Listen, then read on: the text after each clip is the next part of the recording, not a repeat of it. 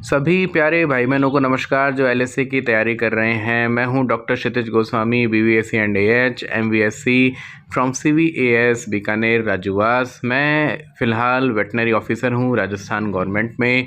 मेरी R P S C की rank overall थी फोर्टी नाइन और मैं आप लोगों के लिए एक यूट्यूब सीरीज़ लेकर के आया हूँ, जिसमें हम एल एस सी की तैयारी करेंगे, जो कि दो हज़ार पच्चीस में पेपर होने जा रहा है।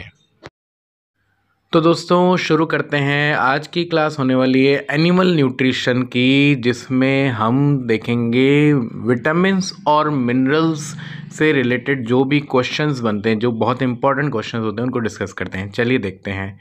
पहला क्वेश्चन, निम्नलिखित में से कौन सा विटामिन वसा में घुलनशील नहीं होता है?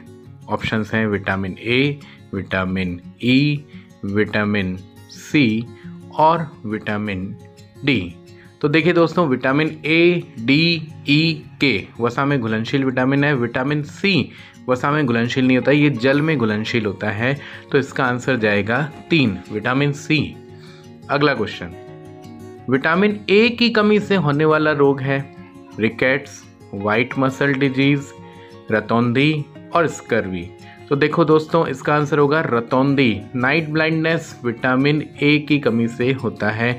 कमेंट करके बताएँगे रिकेट्स वाइट मसल डिज़ीज़ और स्कर्वी किसकी कमी से होता है। तो जिन भी स्टूडेंट्स को सही आंसर आता है, इन तीनों डिज़ीज़ के संबंधित विटामिन आप कमेंट में लिखेंगे। अगला क्वेश्चन छोटे जानवरों या बच्चों में हड्डियों का मुड़ जाना या फिर विकृत हो जाना किसकी कमी से होता है? बड़ा अच्छा क्वेश्चन है, कई बार पूछा जाता है। Calcium, vitamin E vitamin D three और एक व तीन दोनों। तो दोस्तों, हड्डियों का जब भी संबंध आएगा तो कैल्शियम और विटामिन डी थ्री दोनों होगा। तो आंसर जाएगा इसमें फोर वन और थ्री बोथ अगला क्वेश्चन निम्नलिखित में से कौन सा विटामिन एंटी हेमरेजिक विटामिन होता है? तो ऑप्शंस हैं vitamin K then vitamin E vitamin D three और एक व तीन दोनों। दोस्तों एंटी हेमरेजिक विटामिन होता है विटामिन के जब भी ब्लीडिंग होती है, तब हम विटामिन के का इंजेक्शन भी लगाते हैं। नेक्स्ट क्वेश्चन दोस्तों। निम्नलिखित में से कौन सा खनिज विटामिन ई के साथ पशु के आहार में आवश्यक होता है? पहला सोडियम दूसरा पोटेशियम तीसरा सेलिनियम और चौथा मैग्नीशियम तो दोस्तों, हम सबको पता है कि सेलिनियम जो है विटामिन ई के साथ पशु आहार में आवश्यक होता है।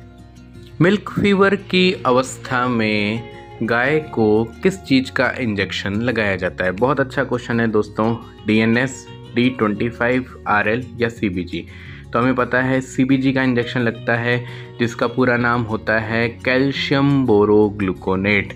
तो इसका आंसर होगा फोर्थ। Next question.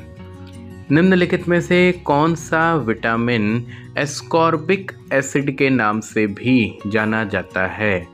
पहला है विटामिन सी, दूसरा है विटामिन डी, तीसरा है विटामिन ए और चौथा है विटामिन बी।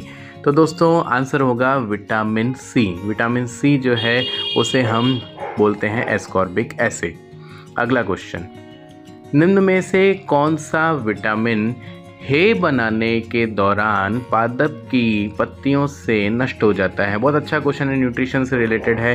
विटामिन सी या विटामिन डी या विटामिन ए या विटामिन बी तो दोस्तों, इसका आंसर होगा विटामिन ए विटामिन ए धूप में सनलाइट में नष्ट हो जाता है। बहुत अच्छा क्वेश्चन है ये।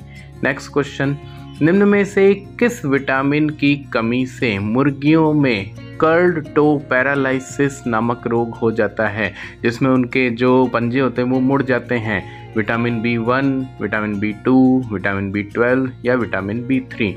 इसका आंसर होगा विटामिन बी टू। बहुत ही अच्छा क्वेश्चन है दोस्तों। बहुत बार पूछा गया क्वेश्चन है विटामिन बी टू। अगला क्वेश्चन। निम्न में से किस खनिज की कमी से मवेशियों में ग्रास टिटनी नामक रोग हो जाता है। ये भी कई बार पूछा गया क्वेश्चन और फ़ील्ड में भी काफ़ी मिलता है। मैंगनीज या मैग्नीशियम या सोडियम या कैल्शियम। बहुत से लोग कंफ्यूज रहते हैं। इसका आंसर होगा मैग्नीशियम एम इसका आंसर होगा मैग्नीशियम एम ग्रास टिटनी का कारण।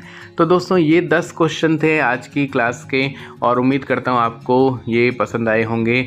और आज आपके लिए क्वेश्चन है, जिसका आप जवाब कमेंट बॉक्स में देंगे। आज का क्वेश्चन है, अगर गाय केवल सूखा चारा खा रही है और चाटा, जिसको कॉन्सेंट्रेट कहते हैं, नहीं खाती है, और उसकी सांस में से मीठी गंध आ रही है तो ये किस रोग के लक्षण हैं? तो इस क्वेश्चन का जवाब आप लोग कमेंट बॉक्स में करेंगे। जो आंसर सही देगा, उसको मैं अगली वीडियो में उस स्टूडेंट का नाम लूँगा।